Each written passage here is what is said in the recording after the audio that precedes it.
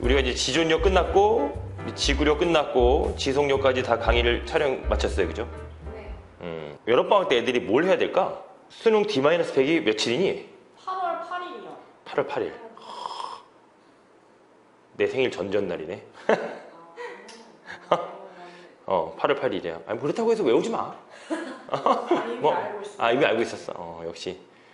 사회생활 잘하는 우리 주연쌤. 8월 8일 전이고, 이제 그러면 100일을 기준으로 했을 때, 100일 전까지는 꼭 해야 될 것이 뭘까? 수험생들이. 100일 전까지. 어, 100일 전까지. 일단 개념 정리를 좀 빠르게 한 번씩 더 해야겠죠.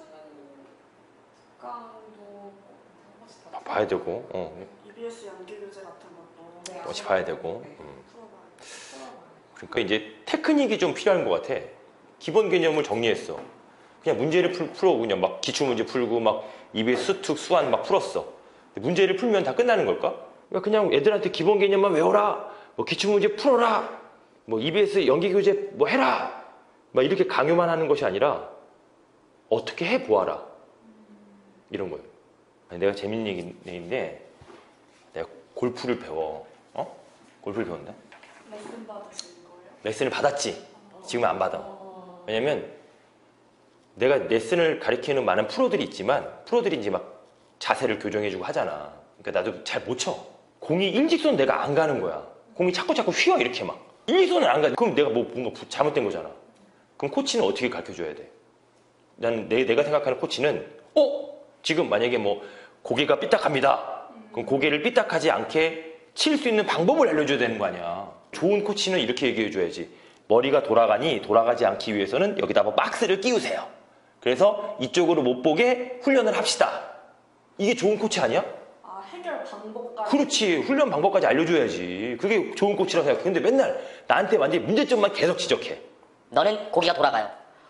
내가 돌아가, 안 돌아가려고 했는데 자꾸 왜 돌아가? 부족한 부분을 고칠 수 있는 해결 방법을 알려줘야 된다는 거야. 그러기 위해서 뭐가 필요할까? 아이들이 모르는 실수를 많이 하는 단원들을 파악해야 돼. 교재를 분석하는 혜인쌤 불러. 어, 네. 너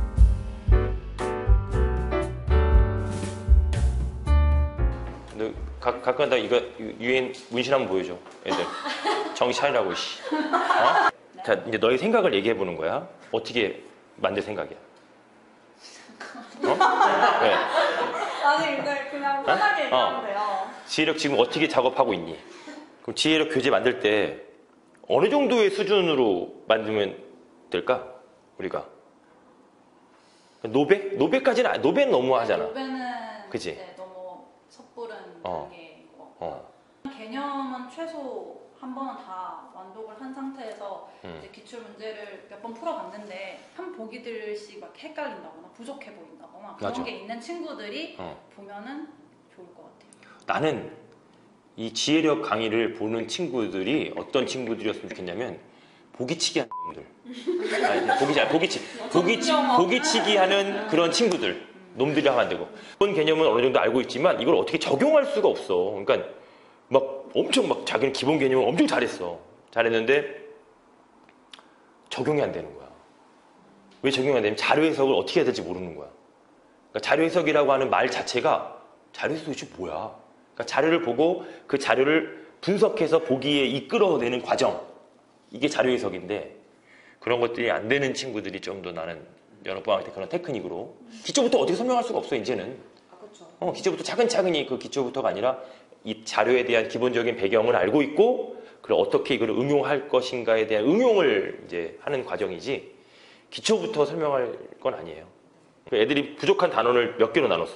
한번 살펴봤더니 어. 22개 정도로 나누면 될 것 같더라고요. 22개? 네.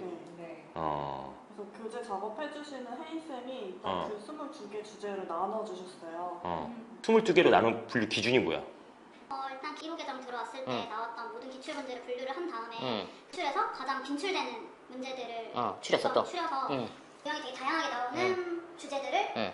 우선적으로 선발했고요. 응. 그래서 거기에서 이제 자료들을 다 찾아서 그 유형에서 나올 수 있는 모든 경우의 보기들을 다 응. 정리를 하는 방향으로 어떻게 코너를 만들, 만들까? 네, 응. 문항으로 해서 기출 문제를 제시를 하고 기출 하나 나가고, 오케이, 기출로 나가야지. 배웠던 내용을 유제 어. 문항을 통해서 다시 한번 복습을 하고 유제 문항? 네. 그 유제 문항을 거기서 보기가 막 엄청나게 많이 나오는 거야? 그 하나의 단원에서 여러 개의 자료가 나온다는 얘기지. 그렇죠. 그 다음에 그걸 토, 토대로 또 하나 뭐 검토를 할 수 있는 뭔가의 단계가 있어. 네, 실전 대비 코너를 구성을 해서 이제 음. 정말 실전에서 문제를 풀 수 있는 것처럼 어. 그러면 3단계로 되어 있네.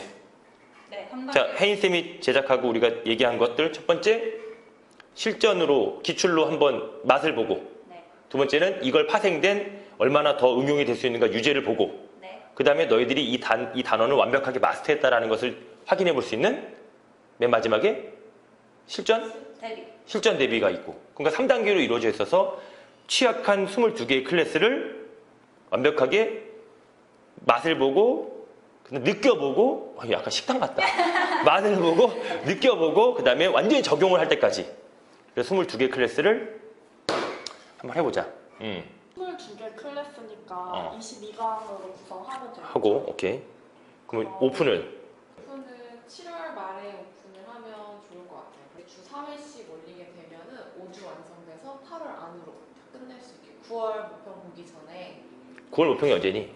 9월 6일 수요일입니다. 9월 6일 수요일에 그 전까지 일주 전까지 완강시키자 네. 그래서 지혜력은 우리 좀 실수를 좀 줄이고 오개념을 좀 줄이고 그리고 문제풀이의 접근에 대한 테크닉을 좀 배울 수 있는 그런 강좌로 밀고 나가자. 네. 자 그러면 우리 지혜력 한번 시작해 보도록 합시다. 9월 모평 한번 대박 나도록. 지혜력 화이팅! 화이팅 합시다. 화이팅 화이팅 화이팅! 끝. 어? 지혜력으로 삼행시 한번 지혜력으로 삼행시 한번 해. 지. 지구가 해. 해석을 어? 키우는 능력 그래. 그리고 100일 대비 9월 모평 우리 평가원 가볼까?